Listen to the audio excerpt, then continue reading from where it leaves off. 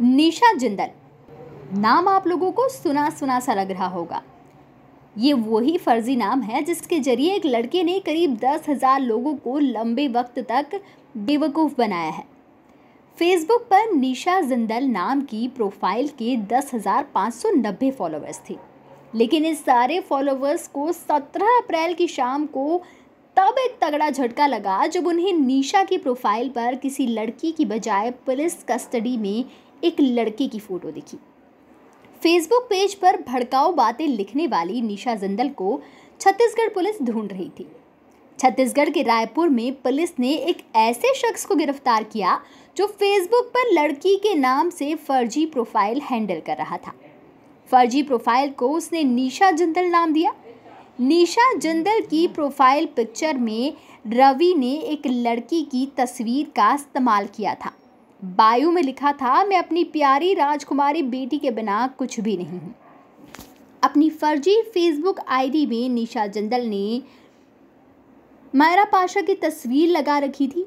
अपने तेरह अप्रैल को किए पोस्ट में निशा जिंदल ने ये लिखा कि अजीब लगता है कि मेरी उम्र पैंतीस रनिंग चल रही है और अभी तक शादी नहीं हुई। मेरी उम्र की बहुत कम स्त्रियाँ हैं जो मेरी फेसबुक फ्रेंड लिस्ट में हैं और हैं भी तो मुझसे बड़ी हैं या मेरी उम्र से पाँच से पंद्रह साल छोटी हैं। पर मेरे जीवन में ये अच्छी बात है कि मैं अपनी उम्र की लेडीज़ जैसी नहीं दिखती हूँ और ये मुझे एक गॉड गिफ्ट है। रवि नाम के इस लड़के ने अपनी नकली निशा जिंदल अकाउंट से कई सांप्रदायिक भड़काऊ पोस्ट भी किए हैं, जिसके लिए उसकी तलाश की जा रही थी। गिरफ़्तार करने के बाद पुलिस ने इस लड़के से अपना फ़ोटो डालकर कमेंट करवाई। पुलिस ने लिखवाया, मैं पुलिस कस्टडी में हूँ और मैं ही निशा जिंदल हूँ। इस कैप्शन के साथ फ़ोटो देखकर हज़ारों दिल टूट गए, जो कि निशा जिंदल के दीवाने थे। ये सब देखते ही कमेंट्स की बारिश हो गई। वो सारी कमेंट भी हम आपको बता देते हैं, जो लोगों ने निशा जिंदल का असली फ़ोटो देखने के बाद की है। कमलेश दुबे नाम के व्यक्ति ने लिखा कि आज दिनांक 18 अप्रैल 2020 शनिवार को मैं प्रतिज्ञा करता हूँ कि आज से फेसबुक पर किसी भी अनजान महिला, स्त्री को दीदी नहीं कहूँगा, क्योंकि वो दीदी जब जीजा बनती है तो बहुत दुख होता है। कमलेश दुबे ने एक और कमेंट करते हुए लिखा कि अब तो इस दुनिया से विश्वास ही उठ गया है। वहीं हेमंत यादव नाम के एक यूज़र ने लिखा कि मीरा पाशा से कांटेक्ट करके उत्तर प्रदेश के मुख्यमंत्री से मिलकर उसका नाम निशा जिंदल करवा देते हैं। जिसको भी निशा जिंदल से बात करने की आदत हो गई होगी, वो कर लेगा। छत्तीसगढ़ के मुख्यमंत्री भूपेश बघेल ने भी इस मामले को लेकर ट्वीट किया। उन्होंने ट्वीट करते हुए लिखा कि किसी भी धोखेबाज को बख्शा नहीं जाएगा। अब उन तत्वों के बारे में खुलासा करते हैं जो गुमराह करने का मकसद रखते हैं। अच्छा काम किया रायपुर पुलिस। पुलिस रवि द्वारा बनाए गए अन्य फर्जी सोशल मीडिया अकाउंट्स के बारे में पता लगा रही है।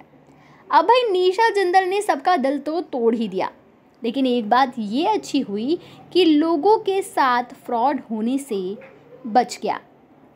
इसलिए जब भी आप अपने किसी भी सोशल मीडिया अकाउंट पर कोई फ्रेंड बनाते हैं, किसी की फ्रेंड रिक्वेस्ट एक्सेप्ट करते हैं या उससे किसी भी तरह की बात करते हैं, उससे घुलते हैं, मिलते हैं।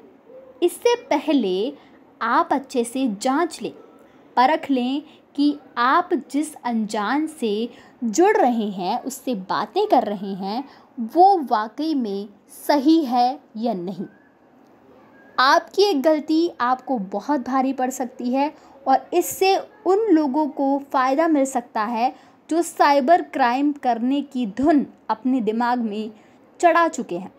इसलिए इन सबसे बचने का तरीका यही है कि आप सुरक्षित रहें और सावधानी के साथ किसी को भी अपना दोस्त बनाएँ, खासकर अनजान लोगों को दोस्त बनाने से पहले, उनके साथ बातें शेयर करने से पहले, अपने फ़ोटो वीडियो उनके साथ शेयर करने से पहले दस बार सोचें और सोशल मीडिया प्लेटफॉर्म का उपयोग सावधानी से करें।